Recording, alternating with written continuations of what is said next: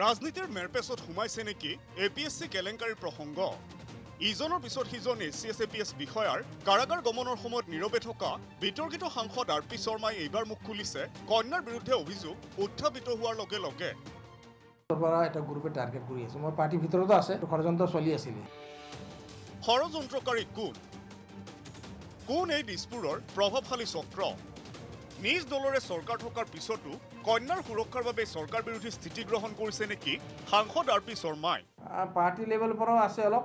দুই তিনিজন মানুহ আছে পাৰ্টি লেভেলত। সাংসদগৰাকীয়ে ডি ৱাই থ্ৰী ছিক্স ফাইভক দিয়া বিস্ফোৰক মন্তব্যই পোহৰলৈ আনিছে আন এক চাঞ্চল্যকৰ তথ্য। অভিযোগ অনুযায়ী প্ৰভাৱশালী ৰাজনীতিকেও দিছিল প্ৰাৰ্থী তালিকা। মানুহবিলাকো বাদ গৈছে। গতিকে তেনেকৈ আমি খবৰ লওঁ। নামো ওলাইছিল পেপাৰবিলাকত। কিন্তু এইবিলাক বাদ পিছত গৈ বাদ গ'ল। গতিকে চিলেক্টিভ ইয়াত হৈছে আৰু টাৰ্গেট এটা কৰা হৈছে পাৰ্টিকুলাৰ আৰ পি শৰ্মা অৱশ্যে এ পি এছ চিৰ তদানীন্তন কুখ্যাত অধ্যক্ষ ৰাকেশ পালক সৎসংগ বিহাৰত লগ পোৱা বুলিও মন্তব্য কৰে কন্যাৰ সুৰক্ষাত দিগ্বিদিক হেৰুওৱা সাংসদগৰাকীয়ে। সৎসংগৰ দীক্ষিত প্ৰায় চল্লিছ লাখ মানুহ আছে অসমত। গতিকে চবেই যায় তাত।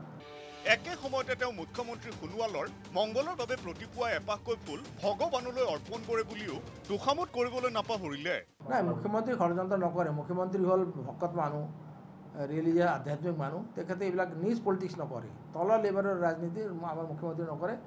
আৰু মুখ্যমন্ত্ৰী হ'ল মোৰ একদম নিজৰ ভাই নিচিনা।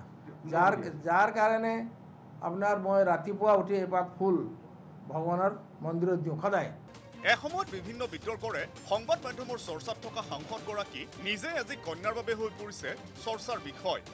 ইফালে কন্যাক ৰাজসাক্ষী কৰাৰ পৰিৱৰ্তে মৰি যাবলৈ সাজু থকা বুলি মন্তব্য কৰে সাংসদজনে।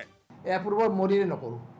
মোৰ জীয়েৰীক মই জেলত পঠাই দিম হা কিন্তু এপ্ৰুভৰ নহওঁ যিহেতু বেয়া কাম কৰে নাই এপ্ৰুভ কি এপ্ৰুভৰ কি ক'ব?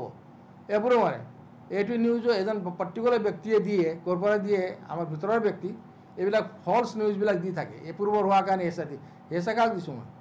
ইমানেই নহয় তদন্ত প্ৰক্ৰিয়াক ৰহস্যৰ মাজলৈ ঠেলি দিবলৈ গৈ সাংসদজনে ফৰেন্সিক প্ৰতিবেদনতো জালিয়াতি হয় বুলি সূচনা কৰে আন এক বিতৰ্কৰ। সদায় যে ফৰেন্সিক ৰিপৰ্ট যে আপোনাৰ নিৰপেক্ষ হয় বা নিষ্পক্ষ হয় সেইটো নহয় কেতিয়াবা তাত মেনিপুলেশ্যন হয়। অৱশ্যে এই পৰ্যন্ত তদন্তকাৰীৰ চমন লাভ কৰা নাই এ পি এছ বিষয়া পল্লৱী শৰ্মাই। অৰ্থাৎ বিনা মেঘে যেন বজ্ৰপাত পৰিছে সাংসদজনৰ মূৰত। Bureau' report Diva365.